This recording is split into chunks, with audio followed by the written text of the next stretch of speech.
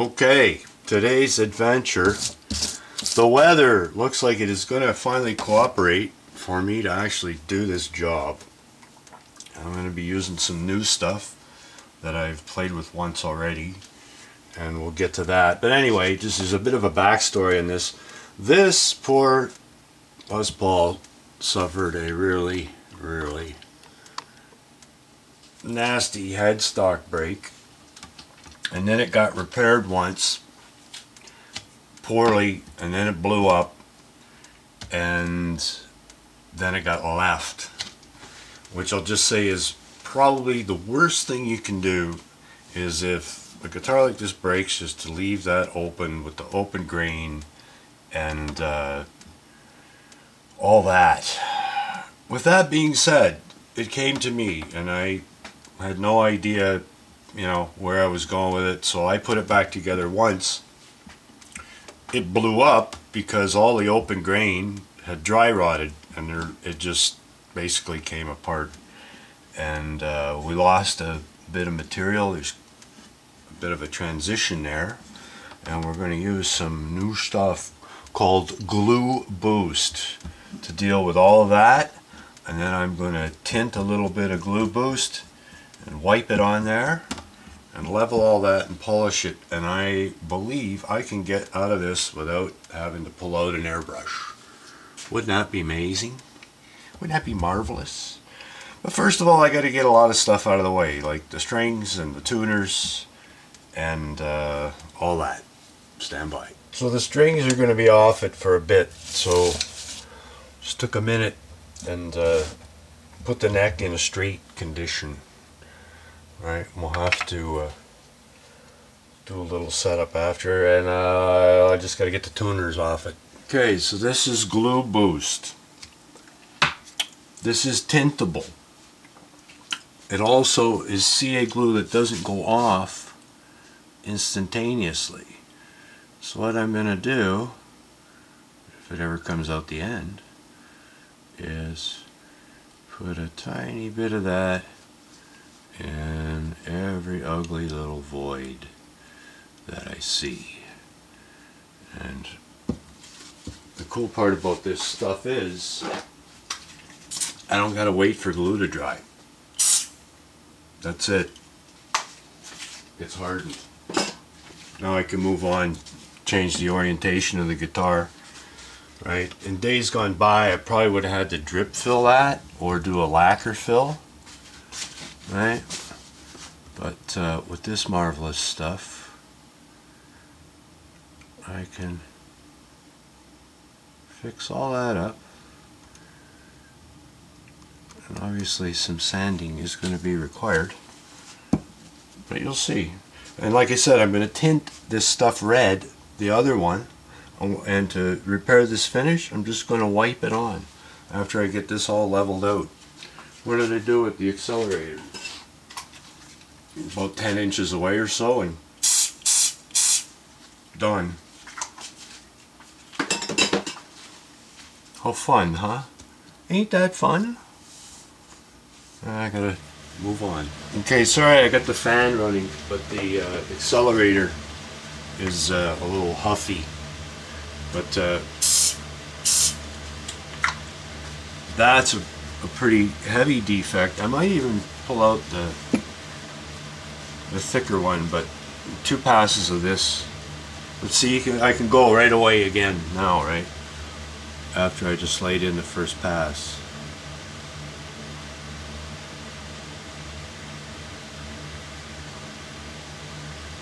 Creep, baby, creep. Like I said, it's a little proud, but we're gonna level all that off anyway. Don't worry about it. It's all good.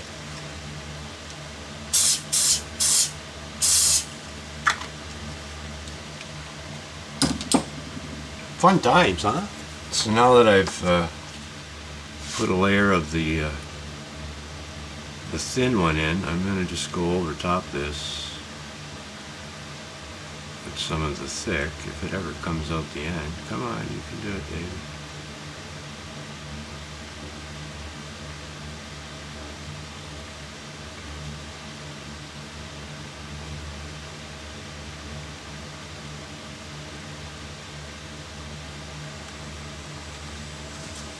Oh yeah! GluBoost. Glue Boost, I love it.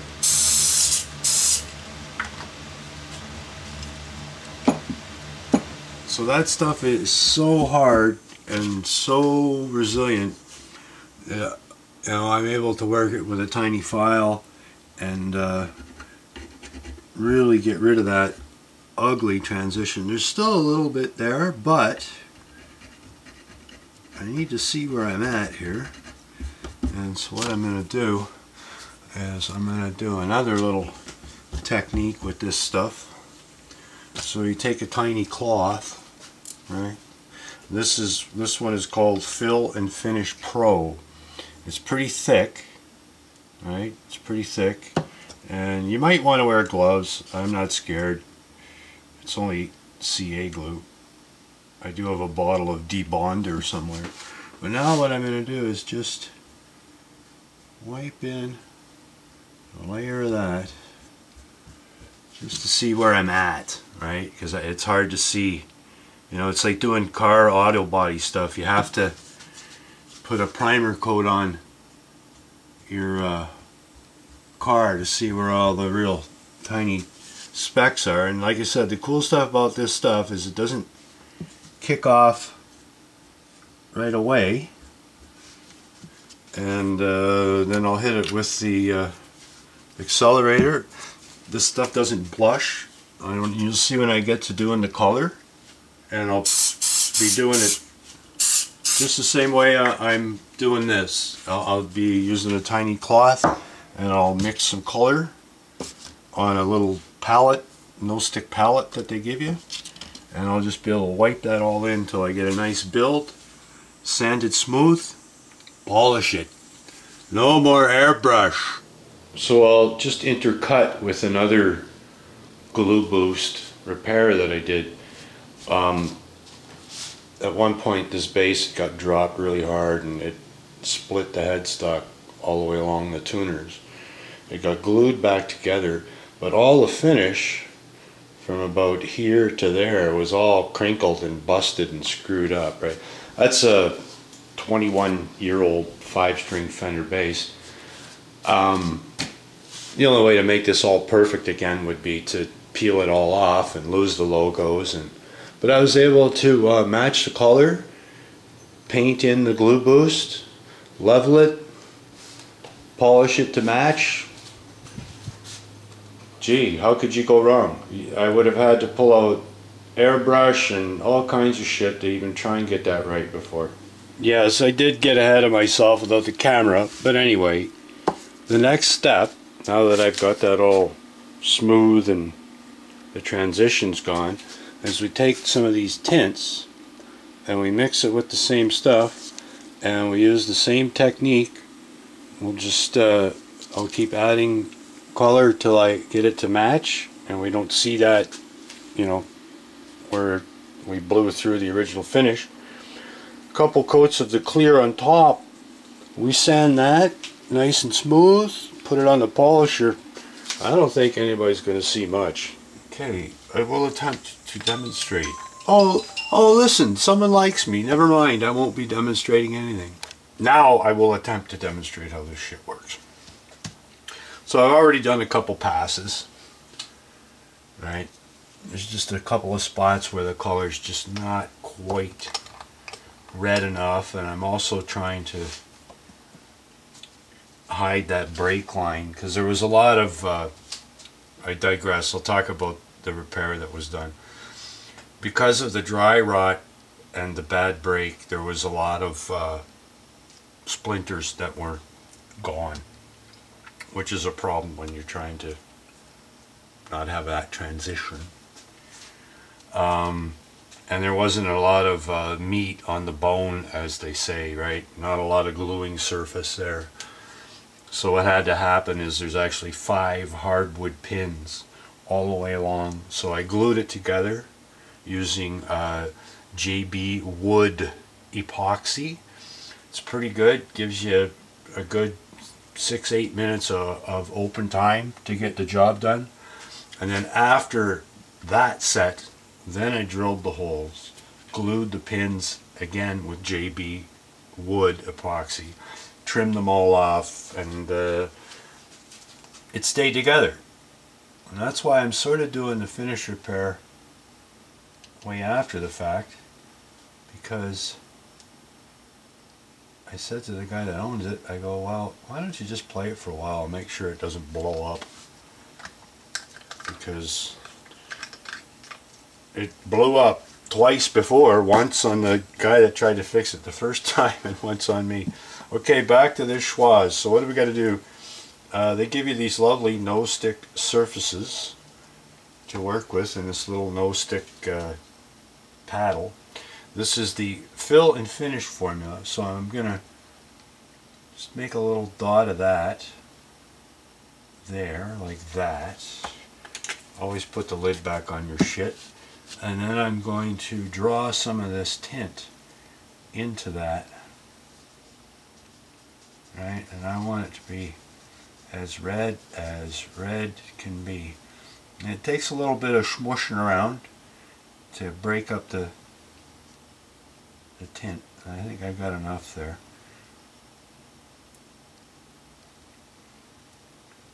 Bust that up a little more. You know, and if you want a little darker, you can draw a little more tint into it.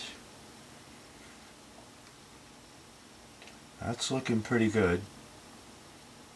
I should have the fan on. I don't like the smell of CA glue. I've played with it so much in special effects over the years.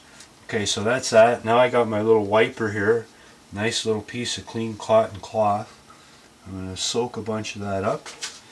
And, and my head's probably in the movie. But I am going to just add a bunch to the, the back of this guy. Where I know I'm trying to blend this and hide that ugly break as best I can. But once we put the clear on here, polish it, I think we're going to be pretty good. So a little look on this side. Maybe a little dab will do you here. Sure. Why not? And that blue vinyl tape, they provide vinyl tape. That's my own vinyl tape. The uh, product won't stick to that. I will have a cut line, but I'll blend that with sandpaper. There's another little spot there that I really didn't like before.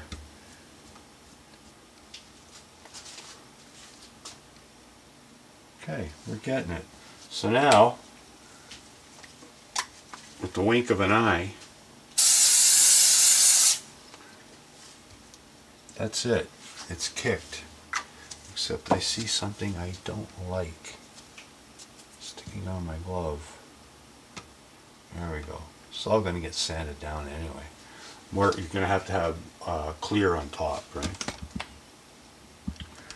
But I, I think I pretty much got the color. There's a little dent there that I didn't notice and put a little filler in that. And possibly, well I still got some here. Can do that.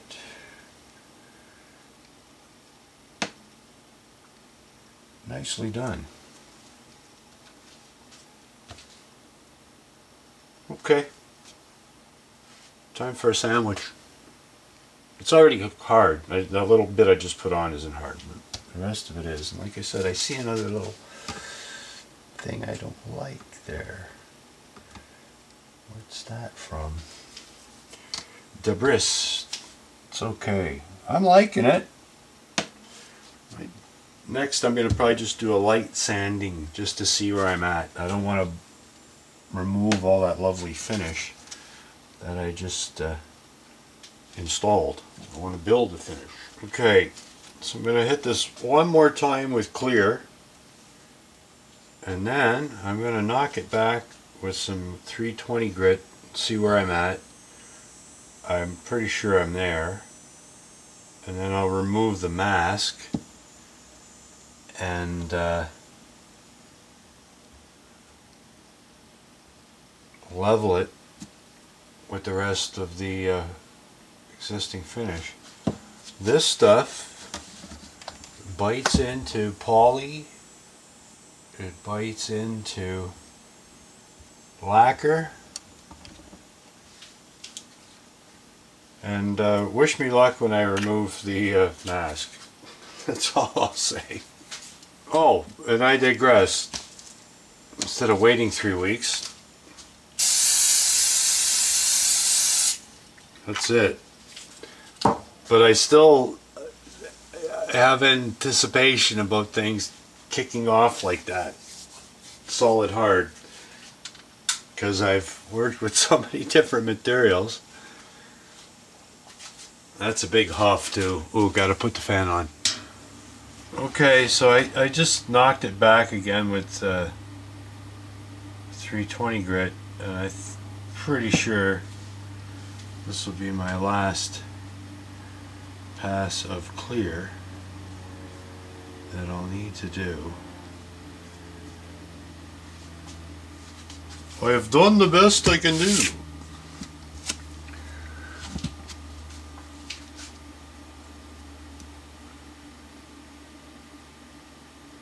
But you can finish a whole guitar with this apparently.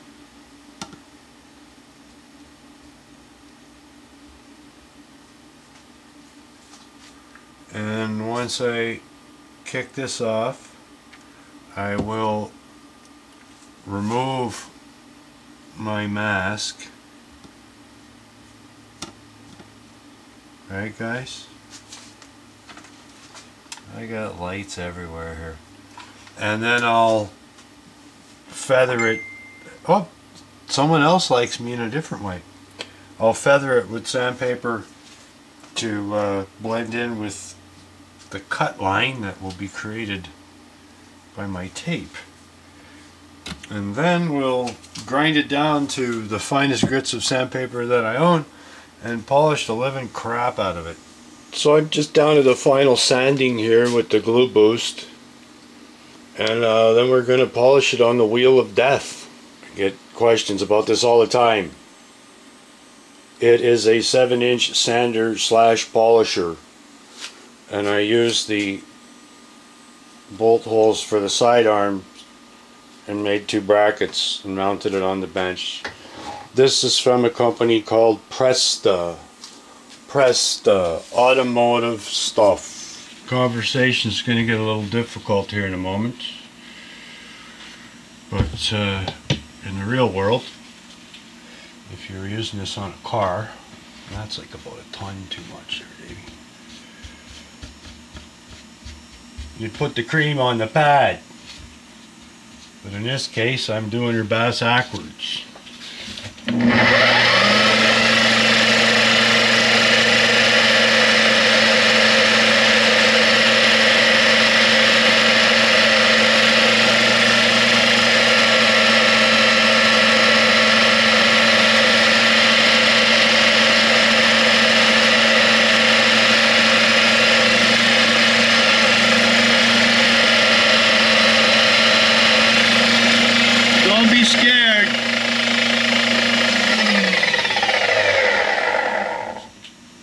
That's going to just be beautiful, isn't it? Okay, so now I go up to the next pad, which is a different color with different juice, and we keep polishing. Hey folks, I quit this kind. I really, really, really can't do much more. What's that on there? A little bit of dust. Eh, the guitar was a goner, right? And I brought it back and now it's nice and smooth and shiny and if you don't look there well you won't see it but it was pretty traumatized. And uh, yeah so thanks for hanging out. Uh, become a patron get a sticker get a penny black CD join the Facebook group Twitter me. But most importantly be good to each other folks. Cheers